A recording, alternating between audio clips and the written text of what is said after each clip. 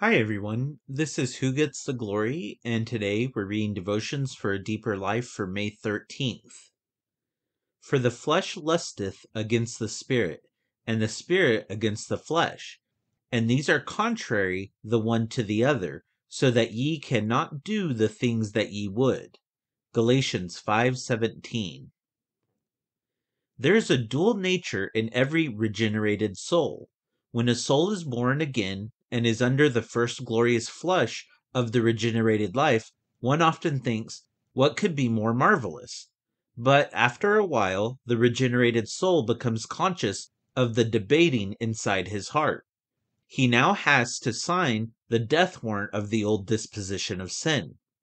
The first time Christ comes to the natural man as a disturber to do the work of conviction. The next time he comes to the awakened man as a deliverer in salvation.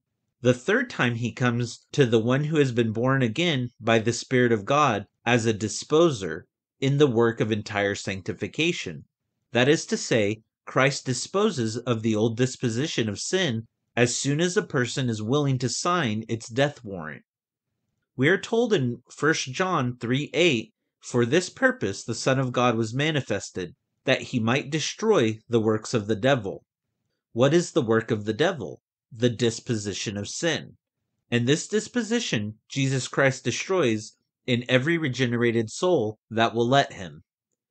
Prayer thought The warrings in the soul are never too fierce that we cannot conquer, O God, with your help.